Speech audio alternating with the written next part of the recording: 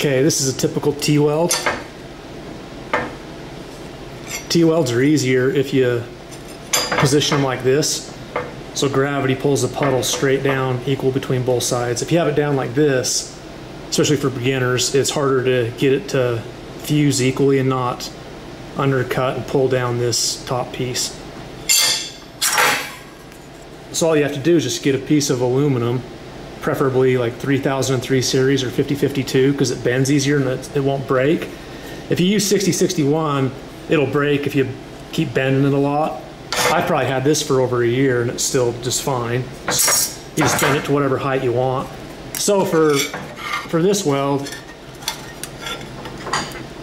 put some weight behind it so it doesn't slide.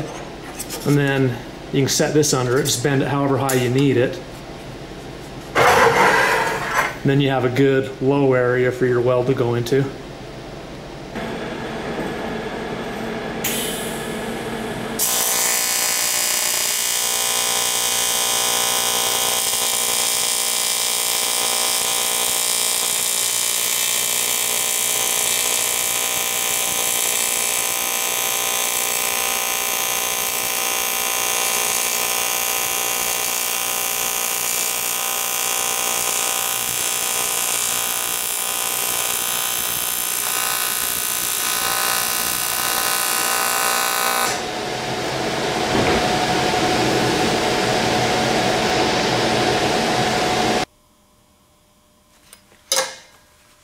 I've been doing this as a profession for 22 years now.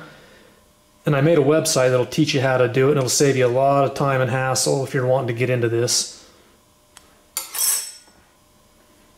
And if you're sick of kicking a foot pedal around and leaning over on one leg, I recommend the TIG button, which I sell on my website too. It's variable amperage, just like a foot pedal. So if you just want more heat, you just press a little bit harder. No moving parts, so you're not fumbling around. You can just put your finger right here and stay steady. Thanks for watching.